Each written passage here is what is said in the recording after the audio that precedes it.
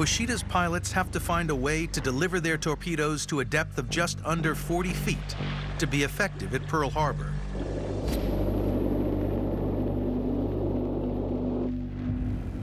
Critical to their success will be the Nakajima Kate aircraft. It has to perform multiple roles and comprises more than half of the 274 bombers that Japan will deploy from its aircraft carriers. In 1941, this is the most advanced carrier attack bomber in the world. Historian Mike Pavelec has come to the Pacific Aviation Museum in Hawaii to see how this plane would be used in the planned attack. This is amazing. This is one of the last remaining examples of a Nakajima Kate Japanese bomber.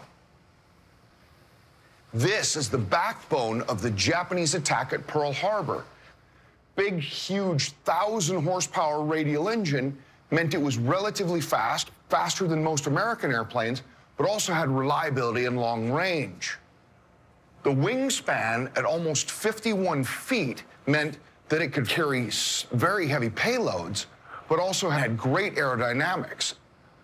Down underneath here, I'm hoping to find the shackles. Yep, in here are the mechanisms for where the torpedo was slung or the bombs were hung. It could carry a massive naval artillery shell that was designed as an armor-piercing bomb to pierce through the battleship's decks. Or it could carry an 1,800-pound torpedo and act as a low-level torpedo bomber. Kate bomber pilots continue to train exhaustively in low-level flying. But perfecting these skills alone isn't enough. To deliver a successful attack, they need improvements in the performance of the aerial torpedoes.